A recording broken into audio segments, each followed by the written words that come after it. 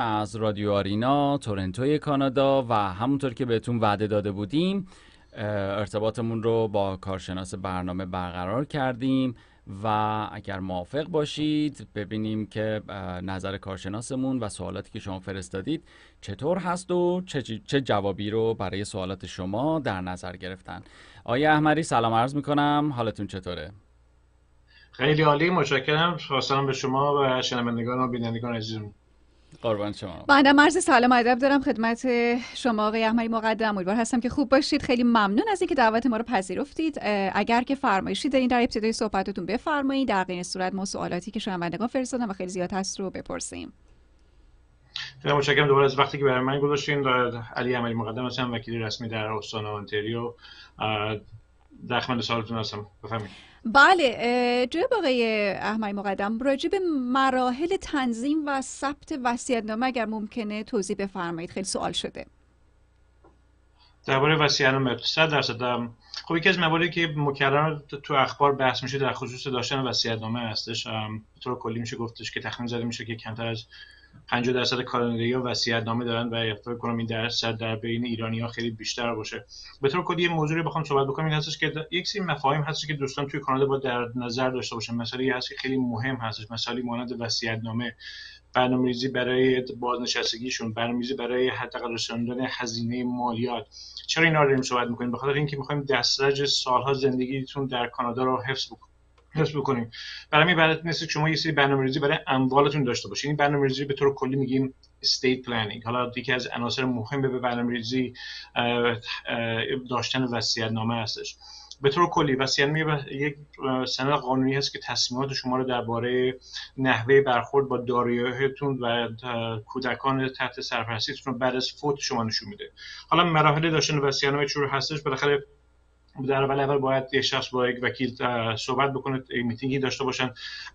مثلا وکیل می‌خواد بدونه که شرط مالی شخص چطور هستش اگه فرزندی دارن سن بچه ها آیا ماینر هستن زیر 18 سال هستن یا خیر. و به طور کلی معمولا یک رونوشت آماده خواهد شدش. با موکل معمولا باید وصیت‌نامه خونده بشه. مطمئن بشیم که وصیت‌نامه دقیقا همون چیزی است که موکل می‌خواد. مثلا وصیت‌نامه معمولا به زبان انگلیسی هستش. خب بالاخره تو وصیت‌نامه کلی کلمات حقوقی استفاده میشه که یک شخص ممکنه باهاش آشنایی نداشته باشه. برای بهتر است که با یک وکیلی که با زبان خودتون داره صحبت می‌کنه یا کسی ما طور فارسی می‌تونه فارسی صحبت بکنه. اون ترمینولوژی کلمات حقوقی رو بر شما تشریح بکنه که مطمئن بشین دقیقاً اون وصیت چیزی است که شما می‌خواید. در آخر بالاخره وصیت بالاخره باید جلوی دو نفر امضا بشه. این شخص باید خودش امضا بکنه و دو نفر شاهد هم باید امضا بکنن. شرایطی که الان این روزا هستش به خاطر کووید 19 معمولا میتینگ حضوری نیستش. حداقل تو دفتر من در بلبل حضوری نخواهد بودش. سعی می‌کنم روی تلفن یا ویدیو کانفرنس با موکلین داشته باشم اطلاعات ازشون بگیرم طبق من وصیت‌نامه رو آماده بکنم و براشون بفرستم. باشون وصیت‌نامه رو می‌خونم مطمئن میشم درست هستش دقیقا همون چیزی که می‌خوان هستش و میریم توی قسمت بعدی که یه وقتی رو براشون خواهم گذاشت که تشریف دفتر و وصیت‌نامه رو در حضور دو شاهد امضا بکنن. خیلی متشکر. دوستی پرسیدن تغییر نیازهای افراد در شرایط قرنطینه چه تغییراتی در وصیت‌نامه ممکنه به وجود بیاره؟ چون قرنطینه هستش شرایط حقوق معروف فرقی نخواهد داشت. بلکه شرایط همون شرایط خواهد بودش به طور کلی یه نفر ملکی تو کانادا داره یا اگه بگم فرزندی دارین که زیر 18 سال هستش داشتن وصیت‌نامه خیلی مهم هستش برای اون شخص. بعضا دوستان فکر می‌کنن که بنا برای می‌ذارن که اگر ملکی یا پولی دارن خب که امروز درباره پول شما دارین صحبت می‌کنین اگه پولی هستش بگو من باید وصیت‌نامه داشته باشن. اگه ندارن یا بگو من فکر می‌کنن پولی نیستش در کال بنابراین وصیت‌نامه لازم نیستش. یکی از مسائلی که خیلی مهم هستش مسئله فرزندان هست. بکرار من موکلین داشتم که با این موضوع دست به گریبان بودن به معروف یا شخصی فوت کرده بدون داشتن وصیت‌نامه و فرزندانی داشتن که زیر 18 سال هستش. حالا سوالی هست که خب چه کسی قیمه تو بچه ها رو به عهده خواهد گرفتش؟ چه پولی کنار گذاشته شده که ازشون نگهداری لازمه رو داشته باشیم؟ پس فرق نداره که حالا شما تو قرنطینه هستین یا نه. شاید حالا که تو قرنطینه هستین وقتی باشه که یک استادی یا تفکری در این موضوع بشه. معمولا توی جامعه ایرانی مسئله وصیت نامه وقتی صحبت میشه یک کلمه هست که یکم ممکنه تبو باشه. بالاخره روزانه داریم می‌بینیم که اخباری که شما خودتون فهمیدید بالاخره روزانه یک سری افراد دارن فوت می‌کنن به خاطر این ویروس و شاید لازم باشه که به فکر این باشین که یک نوع وصیت‌نامه داشته باشن. سپاس. البته دوست سوالی دیگه ای پرسیدن که فکر کنم بخشش شما پاسخ دادین. حالا اگر بخشش رو پاسخ ندادی باز من می‌پرسم آیا داشتن وصیت‌نامه در کانادا ضروری است که فکر کنم شما فرمودین؟ بله اگر ملکی داریم باید وصیت‌نامه داشته باشیم و ذکر بکنیم حتما. و اگه ملک فروخته شد آیا باید وصیت‌نامه رو دوباره بنویسیم؟ اگر نکته جدیدی هست. این تغییری در شرایط در واقع جاری شما در زندگی شما ایجاد میشه آیا اون وصیت‌نامه دوباره باید تغییر بکنه یا اینکه میشه استناد کرد به همون. اوکی یه خوبی داشتن وسیله تو این هستش تو کانال هست که شما وسیله تا وقت دلت بخواد می‌تونی عوض بکنی. اینجوری نیست که چون وسیله نوشته شد به قول دیگه به روش نگاه نگاه کنید بلکه بهتر است که هر چند وقت یک بار این وسیله دوباره مرور بشه. توی وسیله یک سری اسامی خواهد بودش حالا درباره ملک هم ممکنه صحبت بکنیم. درباره اسامی شما یه نفر به عنوان اکسیکر کسی که مجری وصیت نامه هستش خواهی گذاشتش. نفر اول نفر دوم. بلکه نفر سوم. چه کسی از فرزندان شما مراقبت خواهد کرد یا قیمتشون رو خواهند داشت؟ نفر اول نفر دوم نفر سوم. شما ممکنه یه ملکی رو داشته باشی. حالا این ملک رو شما ممکنه به عنوان یک گفت به یک کسی بخوایم بدیم بعد از فوت حالا اگه اون ملک فروخته بشه خب لازم است که وصیت نامه رو عوض بکنین. و بعضا به طور کلی وصیت نامه وقتی که نوشته میشه می‌تونیم تمام اموال به طور کلی باش دیل بکنیم. به این منظور که میگیم خب اگه شخصی فوت کرد تمام اموالی که داره در وقت فوتش فرض حالا بگیم در اول به همسران اگه هم همسر اگه همسر در دهه نبود به فرزندان به طور مساوی. حالا اگه شما یه ملکی داشتین ملکتون رو فروختین و ملک دیگه خریداری که این لازم نیست که وصیت نامتون عوض بکنین چون داریم به طور کلی داریم با تمام اموال داریم دیل می‌کنیم حالا اگه شما یه ملکی داشتی یا به فرض دو تا ملک هستش یه ملک شما داریم میگیم بعد از فوت دارم میدم به به پسرم یکی دارم میدم به دختر مال اگه اون ملک فروخته شده شاید لازم باشه اون وصیت‌نامه رو شما عوض بکنید وصیت‌نامه هر چند سالی بار بهتره که مرور بشه. همونجوری گفتم افرادی که شما دارین به عنوان executor دارین می‌ذارین مجری وصیت‌نامه هستن یا کسی که به عنوان قیم فرزندتون رو دکتر خواهند داشت خواهند گذاشت. خب هر چند وقتی بار مرور بشه ببینیم آیا اون افراد هنوز اونجا هستن آیا شما اون trust یا اعتماد به اون اشخاص هنوز دارین یا نه. آیا اون اشخاص اصلا کپاسیتی دارن یا لیاقت که اون مسئولیتی که به اون افراد گذاشتین آیا هنوز کیپبل هستن یا نه؟ پس برای این که هر وصیت‌نامه به طور کلی هر بار دوباره مرور بشه. بله خیلی ممنون. دوستی پرسیدم به طور مشخص یکی از دوستان یکی از دوستان خانواده خودش رو در سانحه هوایی از دست داده. و تا جایی که معلوم هست وصیت‌نامه در کار نیست و خانواده درجه یک در کانادا نیستند. چه اتفاقی برای اموال این فرد خواهد افتاد؟ چه اتفاقی برای خانه این فرد خواهد افتاد؟ دولت کمکی می‌کنه یا خیر؟ بسیار سوال خیلی خوبی هستش. خب همونجوری که می‌دونید خیلی دوستان با این موضوع دست به گریبان هستن. به طور کلی وقتی یه شخص فوت می‌کنه یا وصیت نامه داره یا وصیت نامه نداره. اگه یه شخصی بدون وصیت‌نامه فوت بکنه قانون اون شخص رو به عنوان یه شخص متوفا فاقد وصیت‌نامه مینامه. به این بیان که این شخص هیچ دستورالعملی برای نحوه تقسیم و توزیع دارایی خودش بر جا نذاشته. پس برای این دارایی طبق قوانین استانی تقسیم خواهد شد. شما تو آنتریو قانونی که داریم Ontario Succession Law Reform Act هستش که مشخص می‌کنه که دارایی چگونه بین بازماندگان تقسیم بشه. حالا یکی از دلایلی که دوباره برگردیم به داشتن وصیت این که شما با داشتن وصیت‌نامه اونجوری که دلتون می‌خواد اموال تقسیم بشه نه اونجوری که قانون برای شما تصمیم خواهد گرفتش. حالا اگه یه شخصی بدون وصیت‌نامه داره فوت می‌کنه توی دوستمون که متاسفانه تو سانه هنایی یکی از فامیلشون رو دست دادن پس باید اون پروسه قانونی طی بشه و در دادگاه و مبنا بر اون گذاشته بشه که شخص بدون وصیت نامه فوت کرده که پس مراحل قانونیش یکم طولانی تر خواهد بود تاخیر زمانی بیشتر و هزینه بیشتری هم خواهد داشت برای اینکه کار رو انجام بدن.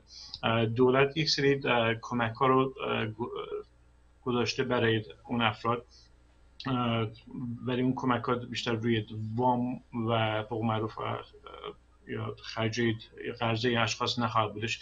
یک سری کمک ها هستش برای خرجه کلی ولی به طور کلی میشه گفتش که در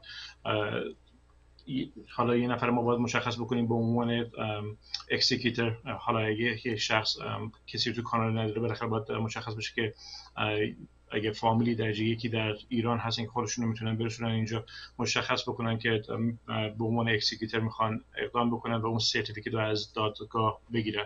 وقتی درباره certificate دارم صحبت می‌کنم ما یک گواهینامه یا certificate هست میگن گواهینامه تعیین مجری دارایی بدون وصیت نامه که میگن Certificate of Appointment of Estate Trustee without a will که با اون یه شخص می‌تونه دسترسی به تمام اموال شخص متوقع داشته باشه و برای مدیریتش و توضیحش پس به طور کلی کمک دولت خیلی کم هستش که کمک ها رو انجام دادن ولی باز دوباره همونجوری بودم پرسه خیلی طولانی تر خواهد بودش. حالا با یه شخصی که خودش رو والانتیر می‌کنه یا اگه از بازماندگان در ایران می‌تونیم کسی رو پیدا بکنیم اون شخص باید خودش رو بکنه برای گرفتن اون سرتیفیکت از دادگاه.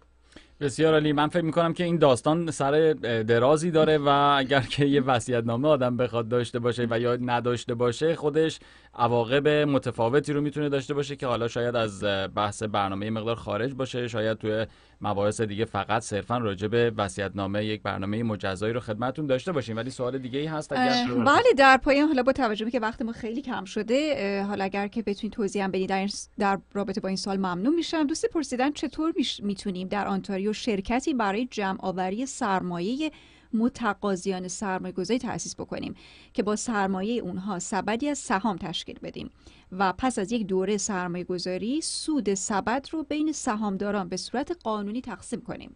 اگه پاسخ کوتاهی برای این سوال دارید. و بعد همچنین اگر هم امکانش باشه حالا در ادامه همین اگر بفرمایید که این دوستانی که حالا به حال یه شرکت هایی دارن خیلی ها هستن یه نامه می‌زنن و میگن که آقا ما از فردا دونیشن رو هم قبول می‌کنیم دونیشن برای فلانجا ولی نمی‌دونن که مثل یه سری مدارکی رو باید اول رد و بدل بکنن با دولت و دولت در جریان حساب ها قرار بگیره و اینجور چیزا. اگر واقعا حقیقتی داره راجع به اینم یه توضیح کوتاهی بفرمایید ممنون میشیم. صد از سوال خیلی کلی هستش. وقت خیلی زیادی هم لازم است برای جوابگویی به بله. اون سوال. وقتی که corporation داریم سوال فهمیدین که corporation تو آنتریو. پس یک نوع Ontario corporation داریم. ما ثبت می‌کنیم شما می‌تونید corporation استانی ثبت بکنید یا فدرالی ثبت بکنید اگه فدرالی هستش بالاخره تو هر استانی که اون شخص داره دفتر دارن باید اونجا هم یک دونه ثبتی داشته باشن. پس یک Ontario corporation باید در برابر ثبت بشه که مدرک لازمش باید آماده بشه.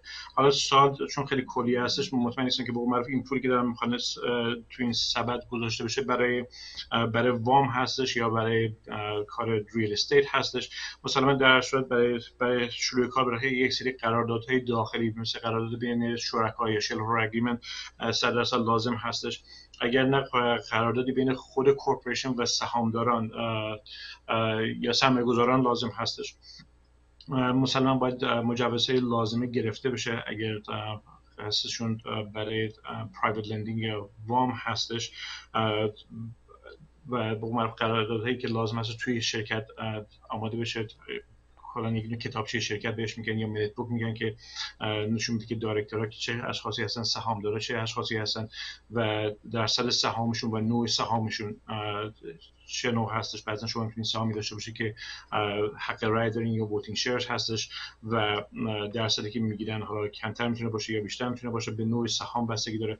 پس اون قراردادهای داخلی مهم هستش. و به طور خیلی بگم سریع درباره قسمت دوم صحبت بکنم. فکر کنم شما درباره در corporation ی دارید صحبت می‌کنید که non for profit هستن که که پولی دارن دریافت می‌کنن به عنوان donation مثلا اونها هم باید اون corporation باید ثبت بشن. دیدم بعد که به معرفی یه نفر به طور کلی داره میگه که برفرض من دارم پولی دارم جمع می‌کنم برای کمک به برفرض میگم دوستان در ایران. خب اگه شما داری پول داری به یک corporation میدی اون باید بتونه به شما یک دونه tax رسید باید بتونه بهتون بده. که در ازا شما داری اون رو استفاده می‌کنی برای آخر سال برای برای کار مالیاتیتون. باید اون corporation ثبت بشه. نوع ثبت شرکت همونجوری گفتم بکن فرق داره. به اون non for profit باید ثبت بشه و دوباره بتونه بتونه بتونه اون رسید رو به معروف به کسی که پول donation دارن میدن اعطا بکنه بله خیلی متشکرم از توضیحاتتون. ممنون هستیم. ممنون که دعوت ما رو پذیرفتید و به سوالات شنوندگان ما پاسخ دادید. بله جناب احمدی خیلی متشکر از زمانی که گذاشتید و همچنین ان‌شاءالله تو برنامه های آینده بتونیم به صورت specific راجع به هر موضوعی این زمان رو اختصاص بدیم که فقط راجع به یک موضوع صحبت بشه و دوستان حالا سوالاتشون ما بتونیم جواب بدیم. خیلی ممنون. عصرتون خوب. خدا نگهدار. خدا نگهدار دست شما خیلی متشکرم. خیلی ممنون. روزتون بخیر. جناب آقای علی احمری مقدم رو داشتیم وکیل رسمی آنتاریو.